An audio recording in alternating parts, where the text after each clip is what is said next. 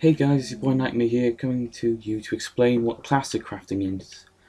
Now, basically, cl classic crafting, as is stated in the name, basically allows you to craft in PlayStation, Xbox, PSP, all that stuff.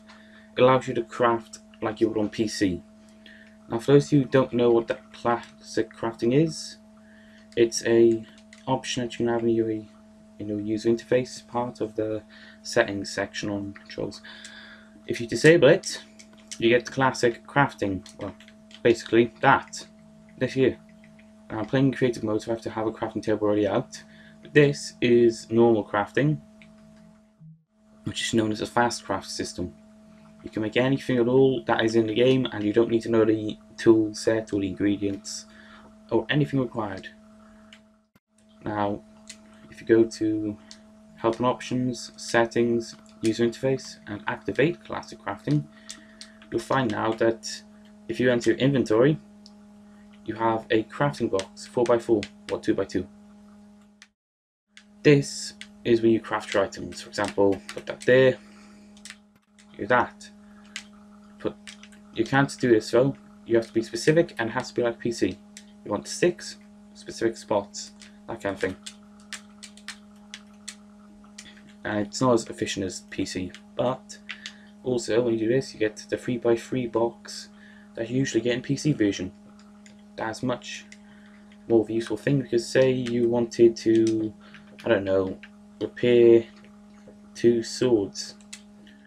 If you look here two swords that's damage one. Ah crap I have to come out of creative mode for that. Don't worry guys slight throwback I've damaged this, unlike in normal game modes or in normal crafting, you can, on this version, combine weapons together without using XP.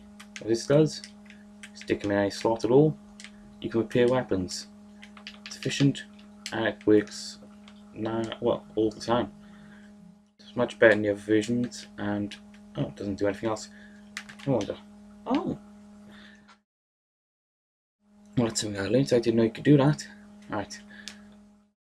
Anyways, that's basic part of the classic crafting. It's not too special.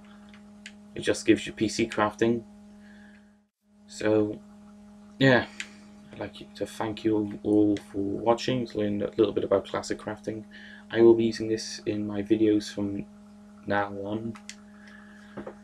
So thank you all for watching, please like, subscribe, whatever you want, but do not leave a dislike. I have had too many of them, you meanies. But yeah.